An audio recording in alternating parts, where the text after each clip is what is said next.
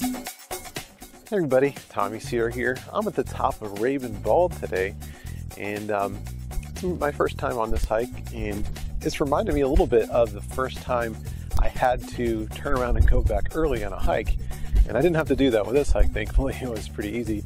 Um, but um, it did remind me of my first time going to the top of Mount Mitchell in North Carolina, which is um, one of the highest peaks in eastern North America if not the highest in the southeast at least. Let me set the scene for you. It was a pretty warm day. It was in the summertime.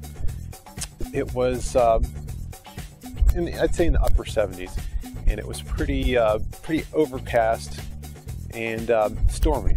So it was, it was kind of humid. And um, when I started out, it wasn't stormy. It was pretty sunny actually. So I thought it was a good time to give it a try. I severely underestimated the amount of water I would need. For those of you don't know, Mount Mitchell, hiking to the top of Mount Mitchell is pretty much straight that way and um, straight up. So it's very strenuous and you get dehydrated very, very quickly. I took 64 ounces of water. I had to share that with me and the dogs. I, I underestimated the amount of water because I assumed that there, there would be places to get water along the way. I mean, usually when you're hiking the mountains, there's little trickles and streams and stuff every now and then if you need to drink out of that. So I assumed that there would be some places, at least for the dogs to drink out of. I wouldn't have to, I didn't think I would have to share my own water with them the whole way. But because it was warm and humid and I was sweating like crazy, I, uh, I went through my water really, really quickly. And um, to make matters worse, it was uh, we keep getting thunderstormed on. The third mistake I made was starting too late in the day. I left um, I left a little bit after lunch, and uh, it was just too late in the day to start that hike. It, it really needed to be done way earlier because you know it, it, takes hours to get out there and hours to come back. You don't want to be hiking in the dark, especially on that trail. It was very uh, precarious in spots. In fact, I remember when I was on that trail for the first time, um, I actually got lost. I went down the trail and there was a little spur that that kind of went off into one direction, and it wasn't marked. So I traveled down that for about a mile or so before I realized, you know, it was tur- it was getting narrower and narrower, and it's turning into like a little bunny trail after a while.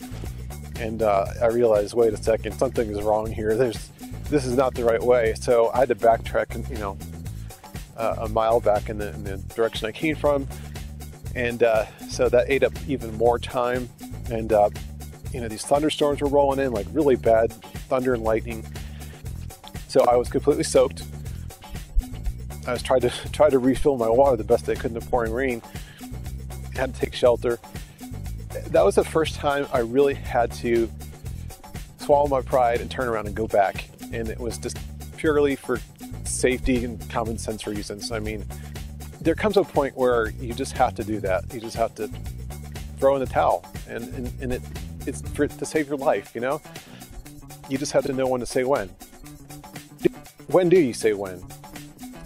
Well, for one, if you get a late start in the day, or if there's some other delay that causes you to um, be on the trail for a lot longer than you anticipate, and the sun is going down, and you know that you need sunlight to get back, it's a good idea to call quits early. If you have a, health emergency, if you have, if you get injured, uh, if there's some hazardous weather that appears that you can't, you know, wait it out. Uh, those are excellent reasons to go. If you run out of water and you get severely dehydrated and there's nowhere else to get water, you need water. You just do, and you need uh, energy when you're on these these straight up, you know, very strenuous climbs where you're ascending, you know, 1,000, 2,000, 3,000 feet up a mountain, you can burn through your energy very, very quickly. And the first time I did that, I'll tell you what it's like. I mean, it's like the most severe hunger pangs you've ever had in your life. I mean, think about being really, really, really hungry and just have that onset like crazy all of a sudden. I, I hike 900 miles a year or so, you know, every day. And I thought, you know, Mount Mitchell, oh, I could do that, right? it was uh, it was a lot. It was hard. It was hard, and I and I I underestimated it. Around halfway up, I started to, to you know after I took the wrong turn, and I and I burned through all my energy. You know, luckily I had some you know granola bars and stuff to to to refuel with, but you know if you don't have that or if you consume all your your energy reserves, it's another reason to head back. You could always try it again another day, but you can't do it if you don't survive. There's there's reasons that you have to turn back. You, you got to do it. You got to you got to know when to just call quits. And I know that's not easy, especially if you if you traveled a long way to get there and you don't have you don't know when you'll be able to try it again. But you just have to realize, hey, it's better to, to go back without having completed the trail than it is to go back in a body bag. Even if you have all the technology in the world, paper map really can save your butt if you if you uh, run out of batteries or something else happens, or you just need a second opinion on where you are. Making you know markings on the paper map every so often it does help you give you an idea of where you're at, so you could track your progress the old school way if you need to. Preparation is key. And as far as water and food goes, yeah, it's going to make your pack heavy. It's going to be even more work to go up those those those climbs.